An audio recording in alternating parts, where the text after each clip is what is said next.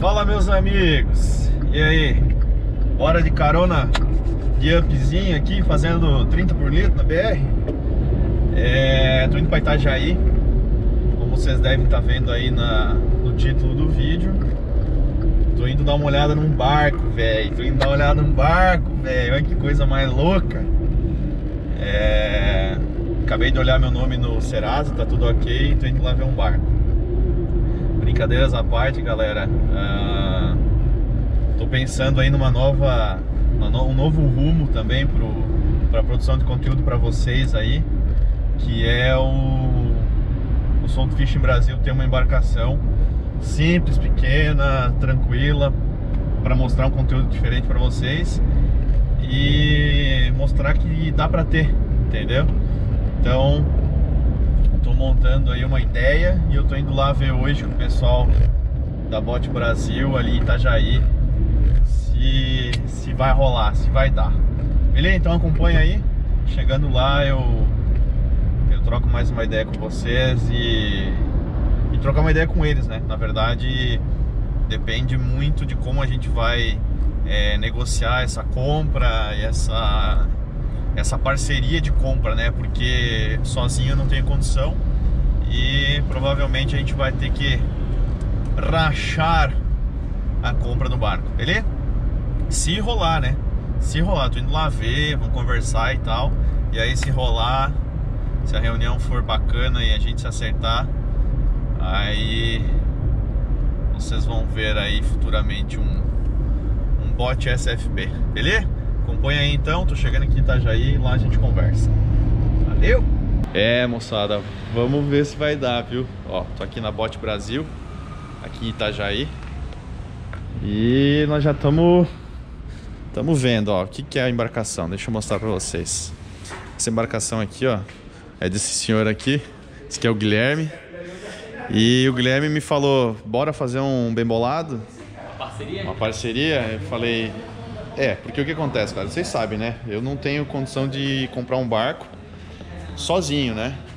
E aí o Guilherme fez uma proposta aí de valor e tudo mais, nós estamos se acertando. E essa aqui é, é a ideia da embarcação aí pro, pro canal, junto com o Bote Brasil, que é do Guilherme, do teu pai, né, Guilherme? Isso. Então, a ideia é entrar numa sociedade com o barco aí, para a gente ter mais uma linha de de vídeos aí para vocês, né, galera? Pô, e quem não quer ter um barco, né? Quem não quer? Olha aí, ó. Guilherme, qual que é o comprimento dele? O barco no total tem 4,80 metros. E Tá, então isso dá, dá 16 pés praticamente. 16 pés e de boca... 1,72m.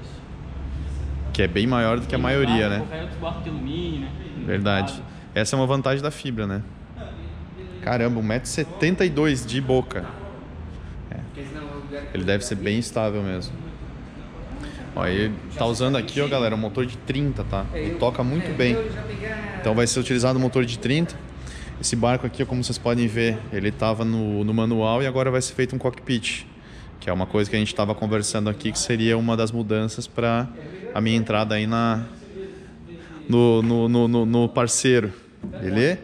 Então, galera, essa aqui é a ideia da embarcação, uma embarcação de 16 pés, de fibra, para a gente utilizar principalmente aqui na nossa Bahia, aqui Porto Belo, Joinville, até a região sul, conhecer os rios aí no sul, tá? Então essa aqui é a ideia.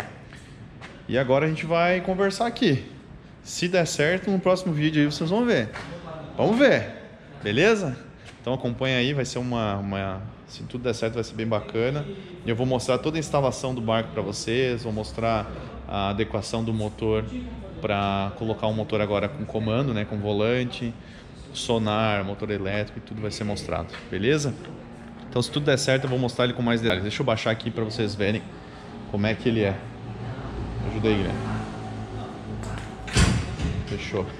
Aqui, ó. Tem uma boa plataforma. Aqui vai um banco, aqui vai outro banco, aqui vai outro banco. Então vai ficar bem legal aí para navegação no mar.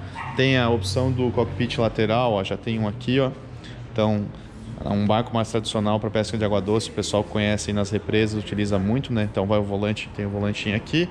Não, pode deixar, depois a gente mostra. Tem o volante aqui e lá tem um, o outro cockpit e o resto é bem igual, então dá para fazer. Então a gente vai ver aí como é que vai ser. Ó, aqui ó, é onde eles fabricam. Bem bacana aí, tá bom? Então acompanha aí, que se der tudo certo, vocês vão ver mais coisas aí sobre a Bote Brasil. Valeu!